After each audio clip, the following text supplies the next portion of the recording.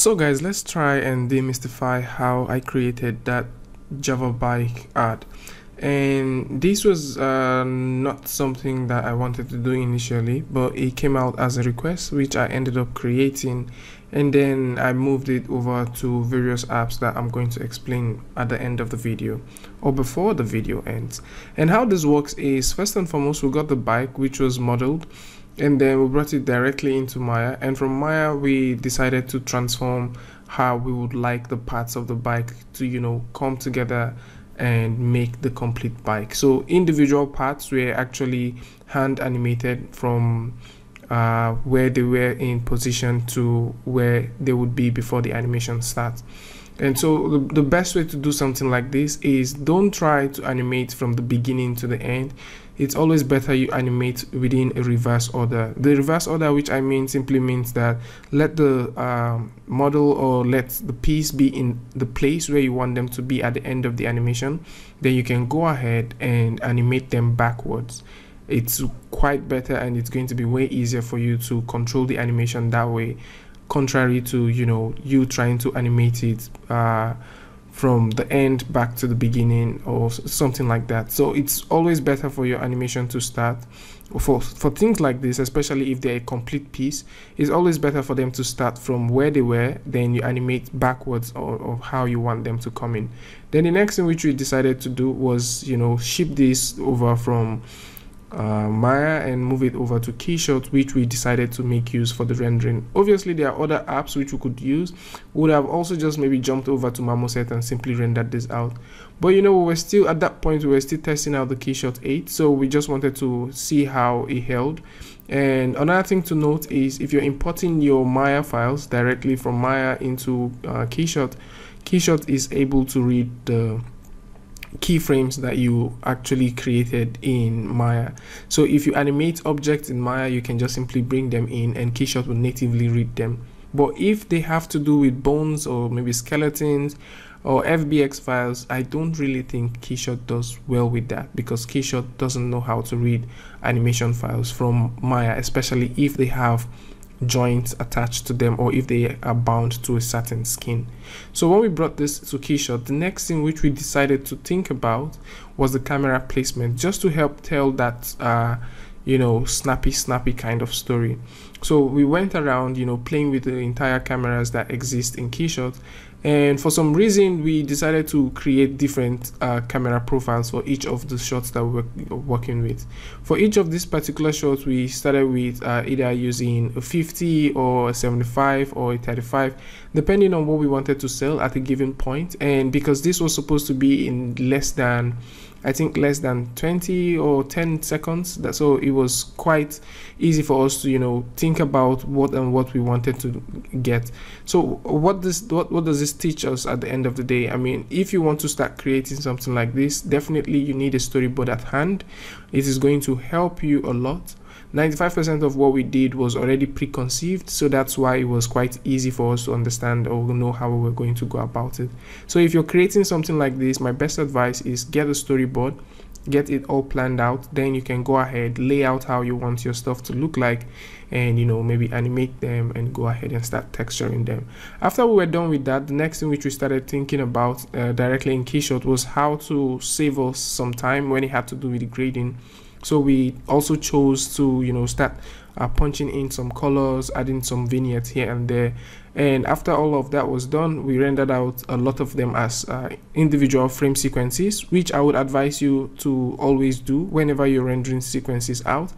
I i think that would be the best way for you to go contrary to rendering them as uh, a full video file which might either have broken frames or something. So it's easier for you to track your frames. It's also easier for you to correct things in your frames when you have them as um, uh, individual frames that are rendered out. So we all rendered them out as both uh, uh, JPEG and also uh, PSD I mean, uh, both JPEG and also PNG.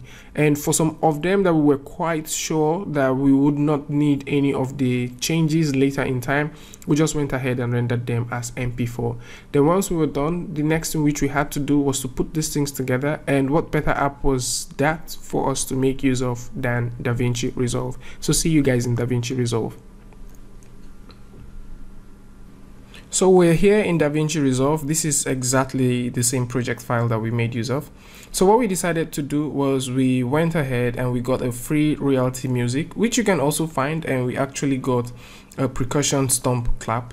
And that was the original idea. And I think this actually fits perfectly because of how we wanted to go ahead with the entire stuff in the beginning. So the idea here was to uh, follow the beat. So we decided to edit based off the beat of the individual uh, sound that was coming out. And the cool thing with DaVinci Resolve is you have total control of both the color grading and both the sound. So because we had Fairlight so it was also easy for us to you know play with it and also get along with it. And just in case you're not using DaVinci I think you should switch over from whatever app you're using right now and try out DaVinci and see how that works for you. Because 95% uh, of the things which you're going to go to other apps to create you can all you can do all of them there in DaVinci. So for example if you're a very core Adobe fan and you're making use of Premiere you're using After Effects you're also using the media encoder and at the same time you're using Audition all of those things packed in together. Plus even if you're going to be using SpeedGrade for example if you have if you still have subscription for something like that all of those things packed together exist in one single app here in DaVinci 15 so you, you see we have this media pool. That's where we can pack up our files and just bring them right here. And then we have this part where we get to edit. And the editing is simply uh, it's very very um, similar to how you edit in Premiere for example. So it's very similar to how you edit in Premiere. It's also very similar to how you edit in Final Cut. So it's quite quite similar for you to edit with this stuff. So what we had to do was uh, we decided to put these things up together. So if I go ahead and play this back so that you can see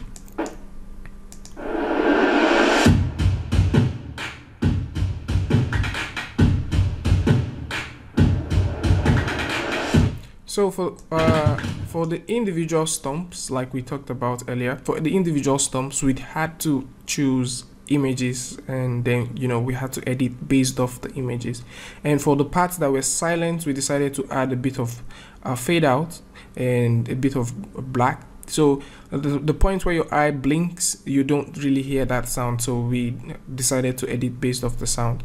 Then the next thing which we decided to do was uh, you know just simply add basic text which you can find here.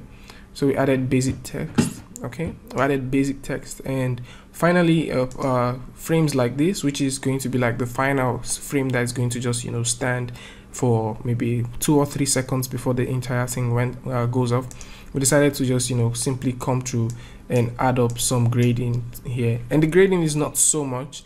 The grading is quite quite very is literally simple. So we just decided to use a bit of level and then a bit of curve to you know uh, put things together.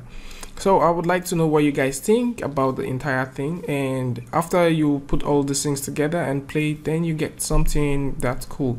And at the end of the day we decided to leave it this way. We actually we purposely chose not to add or increase uh, so much lots to this entire stuff. But it doesn't mean that you cannot. So if you're working with something like this definitely you can choose to add as much lots as you want to do. And you can also choose to grade it uh, the way you choose or how appealing it is for you at the point when you're doing your editing. Yeah. And that's how we ended up creating the java and i would like to know what you guys think about this. Uh, would you want me to create more tutorials that have to do with resolve or more tutorials that have to do with maya or keyshot? So if you have questions about this i would like to put them in the comment section below. And if you like this video simply give it a like. And also don't forget to subscribe if you're new here. And also turn on the notification. And just in case you're looking for a channel where you can enjoy so many tutorials, rants, updates, reviews, and things like that, just simply turn on notification because I'll be uploading more of this stuff. And tell me what you guys think about this. Ask a lot of stuff if you have questions about softwares and other stuff, and I'll do my best to answer you guys. And until I see you guys next time, peace.